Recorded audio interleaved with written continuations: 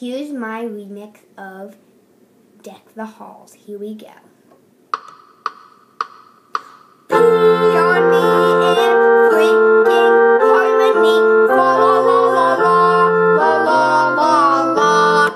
Done. Good. Bye.